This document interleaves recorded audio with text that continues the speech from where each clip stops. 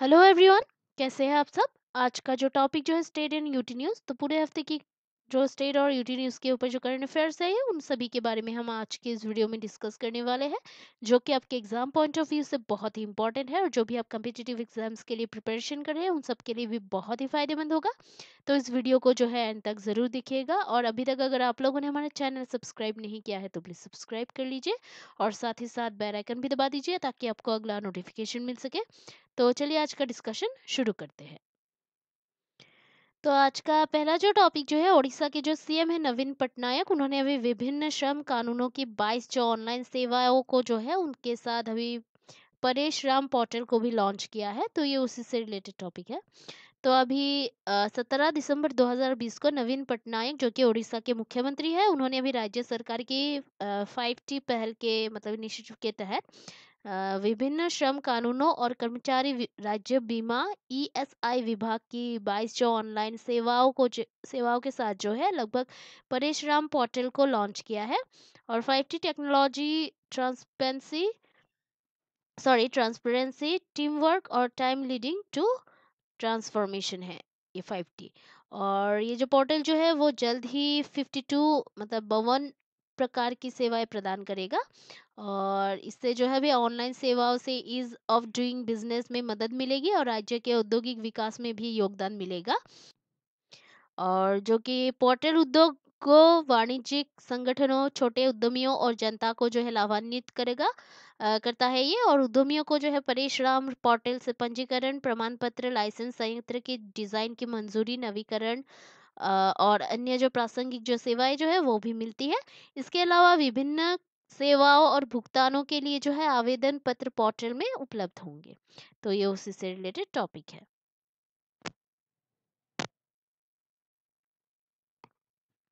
और अभी और एक जो टॉपिक जो है, न्यायमूर्ति एस. मुरलीधरन को जो है ओडिशा उच्च न्यायालय के सीजे के रूप में पदोन्नत किया गया है चीफ जस्टिस के रूप में तो ये उसी से रिलेटेड टॉपिक है।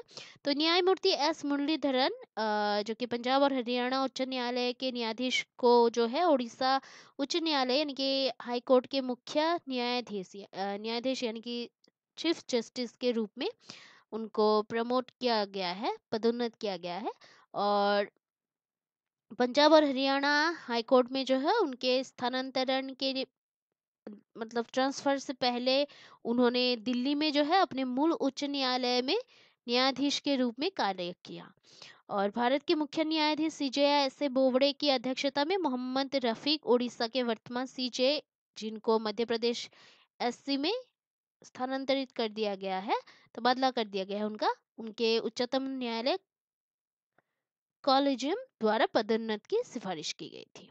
तो ये उसी से रिलेटेड टॉपिक है। तो अभी नेक्स्ट जो टॉपिक जो है, असम से रिलेटेड टॉपिक है तो अभी राज्य में जो है एमएसएमई पारिस्थितिकी को विकसित करने के लिए सिडबी असम सरकार के साथ जो है, समझौता ज्ञापन यानी कि एमओयू पर साइन करता है। तो ये उसी से रिलेटेड टॉपिक है। तो अभी 19 दिसंबर 2020 को भारतीय लघु उद्योग विकास बैंक सिडबी ने जो है राज्य में सूक्ष्म लघु और मध्यम उद्यमों, एमएसएमई पारिस्थितिकी तंत्र को विकसित करने के लिए डेवलप करने के लिए जो है असम सरकार के साथ एमओयू पर साइन किए हैं। और ये जो एमओयू के अनुसार जो है सिडबी द्वारा अभी, सिडबी द्वारा भी असम में जो है एक परियोजना प्रबंधन इकाई पीएमयू की स्थापना की जाएगी। और के के द्विवेदी जो कि उद्योग और वाणिज्य विभाग के आयुक्त और सचिव है और असम सरकार और सिडबी के महाप्रबंधक आर के सिंह, चंद्रमोहन पटवारी, परिवहन उद्योग और वाणिज्य संसदीय मामलों, मामले और सिड एसईईडी असम सरकार के कैबिनेट मंत्री की उपस्थिति में समझौता ज्ञापन पर हस्ताक्षर किए गए हैं, यानी कि इस एमओयू पर हस्ताक्षर साइन किए गए हैं। और ये जो सहयोग जो है, राज्य के सभी एमएसएमई को एक औपचारिक संगठित क्षेत्र में लाएगा। तो ये उसी से रिलेटेड टॉपिक है। अभी नहीं जो टॉपिक जो है, वो है यूएन वुमेन और केरला गवर्नमेंट ने जो है, अभी पहले जेंडर डेटा हब के लिए जो है केरल सरकार मतलब उन्होंने जो है जेंडर पार्क के साथ एमओयू पर हस्ताक्षर किए हैं। मतलब संयुक्त राष्ट्र महिला भारत के पहले जेंडर डेटा हब के लिए जो है केरल सरकार के जेंडर पार्क के साथ एमओयू पर हस्ताक्षर किए हैं उन्होंने। तो 21 दिसंबर 2020 को संयुक्त राष्ट्र की महिला संस्था ने जो है 24 एकड़ के कोझिकोड परिसर में जो है जेंडर पार्क में भारत का जो पहला जो जेंडर डेटा हब जो है तो उसको स्थापित करने के लिए केरल सरकार के जेंडर पार्क के साथ जो है एक एमओयू पर साइन किए हैं। जहाँ पे अंतर्राष्ट्रीय लैंगिक और विकास संस्थान भी मौजूद है और ये जो जेंडर पार्क जो है लैंगिक समानता के लिए दक्षिण एशियाई दक्षिण एशियाई हब के रूप में कार्य करेगा। जिसका लक्ष्य, यानी कि जिसका एम जो है वो क्षेत्र से ज्ञान और अनुभव साझा करना है। तो ये उसी से रिलेटेड टॉपिक है।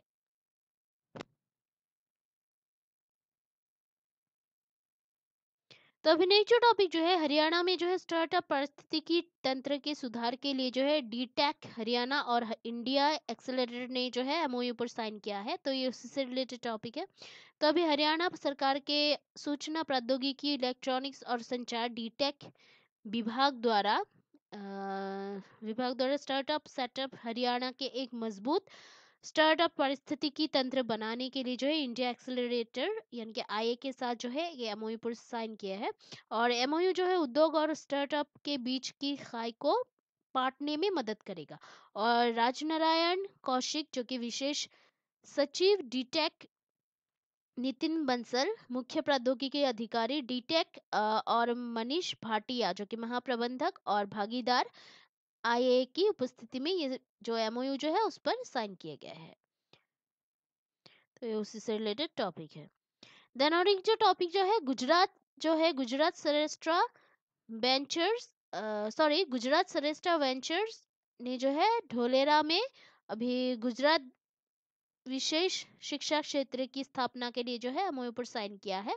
तो अभी इक्कीस दिसंबर 2020 को गुजरात सरकार और सरेस्ट्रा वेंचर्स ने जो है धोलेरा जो कि विशेष निवेश क्षेत्र एस में जो है गुजरात विशेष शिक्षा क्षेत्र जी की स्थापना के लिए जो है एक एमओयू पर आ, मतलब एमओयू में एंट्री किया है तो ये अभी इससे रिलेटेड है और जी सर वन थाउज़ेंड एकड़ में फैला हुआ होगा और जी सर जो है उसमें अभी छात्रों के लिए स्टूडेंट्स के लिए जो है आवासीय और खेल परिसर शामिल होंगे।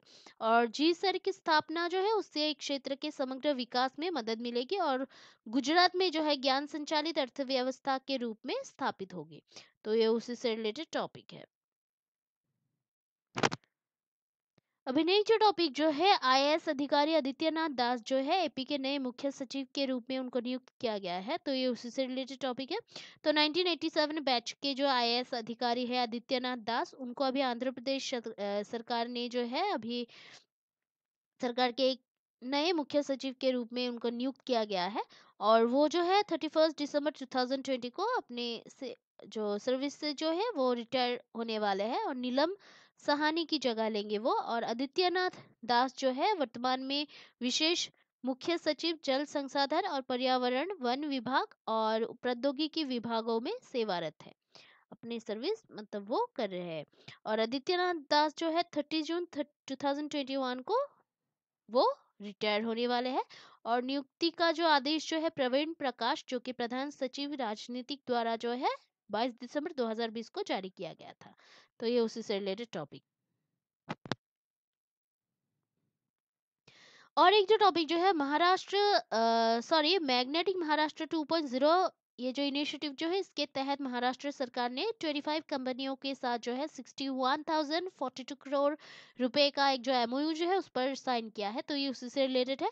तो 22 दिसंबर 2020 को महाराष्ट्र औद्योगिकी सॉरी, औद्योगिक विकास निगम एमआईडीसी ने जो है अपनी मैग्नेटिक महाराष्ट्र 2.0 इनिशिएटिव के तहत 25 भारतीय जो कंपनियाँ जो है, उनके साथ आई एन आर करोड़ मूल्य के समझौते ज्ञापन, यानी कि एमओयू पर जो है साइन किया है।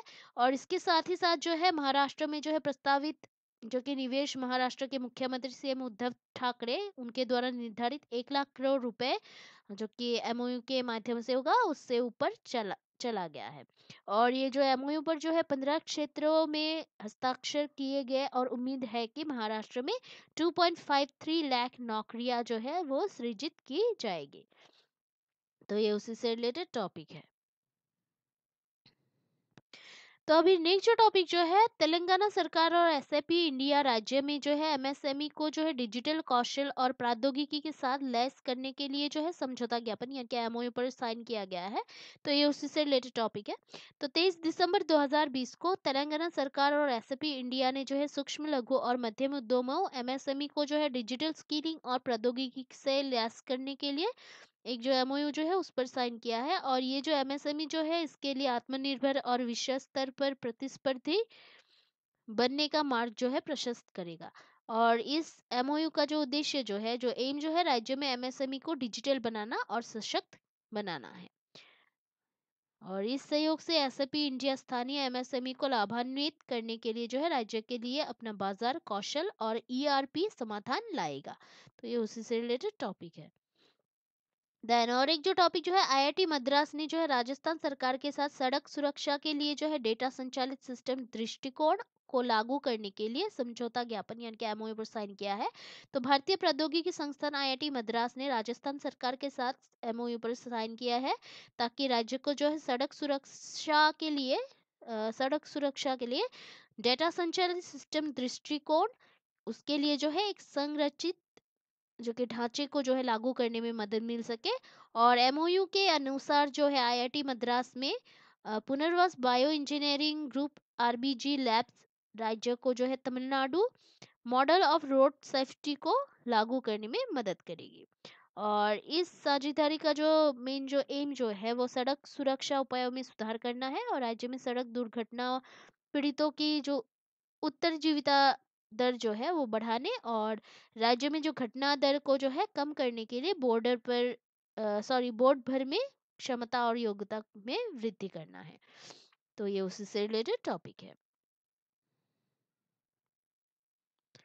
तो अभी और एक जो टॉपिक जो है यूनिसेफ के सहयोग से जो है उड़ीसा सरकार ने छात्रों के लिए स्टूडेंट्स के लिए जो है, एक ओडिशा कैरियर पोर्टल को लॉन्च किया है। तो संयुक्त राष्ट्र बाल कोष यूनिसेफ के सहयोग से स्कूल और जन शिक्षा विभाग ओडिशा सरकार ने जो है, माध्यमिक और उच्च माध्यमिक स्टूडेंट्स के लिए जो है, एक नया कैरियर पोर्टल यानी कि ओडिशा कैरियर पोर्टल को शुरू किया है। और ये जो पोर्टल किशोर छात्रों यानी कि टीनेजर जो स्टूडेंट्स जो है, उनको उनके भविष्य और भविष्य के कैरियर पर विशेषज्ञ सलाह दे, लेने में सक्षम करेगा। और समीर रंजन दास जो है उड़ीसा के स्कूल और मास शिक्षा मंत्री ने 24 दिसंबर 2020 को ओडिशा कैरियर पोर्टल को लॉन्च किया। और इसमें जो है, सत्यव्रत साहू, स्कूल और व्यापक शिक्षा विभाग के प्रधान सचिव भूपिंदर सिंह पुनिया, ओडिशा स्कूल शिक्षा कार्यक्रम प्राधिकरण ओएसईपीए के राज्य परियोजना निर्देशक एसबीडी के साथ अन्य गणमान्य जो व्यक्तियाँ जो थे, उन्होंने इस कार्यक्रम में भाग लिया था। तो ये उसी से रिलेटेड टॉपिक है। नेक्स्ट जो टॉपिक जो है जो कि पंजाब के जो सीएम जो है अमरिंदर सिंह, उन्होंने अभी digital PR inside mobile app और वेब पोर्टल प्लेटफॉर्म को लॉन्च किया है तो ये उसी से रिलेटेड टॉपिक है। तो 23 दिसंबर 2020 को जो है, अभी पंजाब के जो मुख्यमंत्री है कैप्टन अमरिंदर सिंह, उन्होंने अभी पी आर इनसाइड एक मोबाइल एप्लीकेशन और वेब पोर्टल को लॉन्च किया है, जो कि ये जो एप्लीकेशन जो है, वो लोगों से प्रतिक्रिया प्राप्त करने के लिए एक मंच के रूप में काम करेगा और पंजाब की जो सरकार जो है, उनको इसके द्वारा कार्यान्वित जो योजनाएँ और जो कार्यक्रम जो है, उनके कमियों को दूर करने में सक्षम करेगा। और ये सूचना एवं जनसंपर्क विभाग पंजाब के निर्देशालय द्वारा विकसित किया गया है, डेवलप किया गया है। और इस आवेदन का मुख्य जो एम जो है, उद्देश्य जो है, वो लोगों से प्राप्त फीडबैक का विश्लेषण करने के बाद मौजूदा जो योजनाओं और कार्यक्रमों का जो है, पुनर्गठन करना है। तो ये उसी से रिलेटेड टॉपिक है।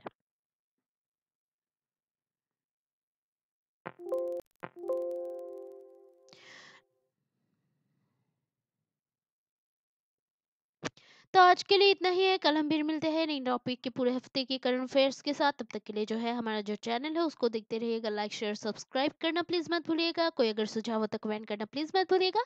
क्योंकि आपका जो सपोर्ट है वो हमें बहुत ही मोटिवेट करता है हार्डवर्क करने के लिए। So please keep watching our videos like share and subscribe take care जय हिंद।